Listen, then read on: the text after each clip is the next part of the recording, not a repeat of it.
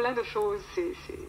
C'est le rêve d'être euh, euh, d'être naturel dans un sens, mais pas naturel dans un autre, c'est-à-dire euh, le maquillage, le côté glamoureux, le côté, pourquoi pas l'imaginaire, quelque chose de complètement naturel, et je ne vois pas pourquoi au nom de quelle bourgeoisie je ne serais pas, tous ces rêves, tous ces rêves euh, existent, c'est complètement naturel, c'est une projection de la pensée. J'ai envie d'être de temps en temps une espèce d'être fatal, euh, complètement, peut-être, je ne sais pas d'où vient cette nostalgie, de, de quelle époque. Et puis j'ai aussi envie d'être quelquefois très animal, très, très organique. Quelquefois, vous me disiez tout à l'heure que quand vous étiez avec des gens lyriques, vous aviez envie d'être plus rock et, et vice-versa.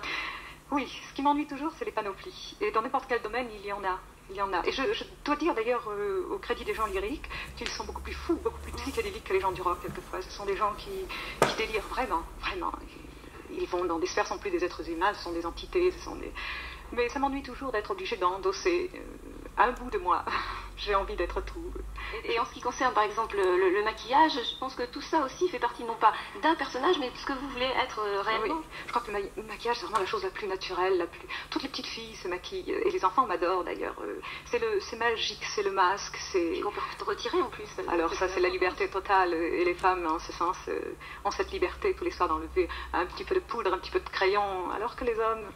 Ils ont leurs rides, leurs attitudes, leurs moustaches, leurs gestes, ils fument, ils boivent, c'est vraiment... Et ils, n'ont jamais la chance d'enlever ça et de se retrouver euh, nus comme ça de temps en temps, c'est bien. Et, en scène, alors, ça se passe comment? Sur scène En scène, si je rentre en scène, c'est pour être plus que moi, c'est pour chercher quelque chose au-delà de, de, ce, qu'un être humain peut être. Je pense qu'on, je ne sais pas si c'est Dieu ou qui nous a mis sur cette terre, nous a mis incomplet, nous a mis dans, dans un monde euh, avec toutes les possibilités pour achever notre forme par nous-mêmes et choisir. Et le maquillage, le rêve de la scène, c'est être plus, c'est être euh, un rêve, c'est être euh, lorsqu'on sort, on redevient fragile, humain, mais il se passe tellement de choses. En tout cas, dans votre voix, il se passe euh, beaucoup de choses, puisque quand vous parlez, vous avez une voix qui est assez douce, c'est vrai, et quand on entend cette voix superbe, ça surprend. En tout cas, merci de nous avoir tenu compagnie, Armand Nathalie, cet après-midi. Et puis, moi, ce que je voudrais vous dire, avant de vous quitter, puisqu'il va être l'heure, vous dire qu'à partir de lundi, eh bien, nous changeons d'équipe.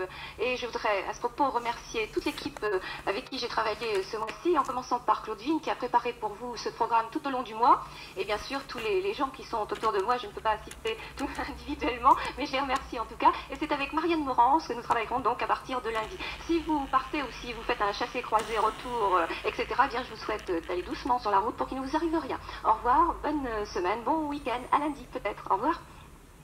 Merci.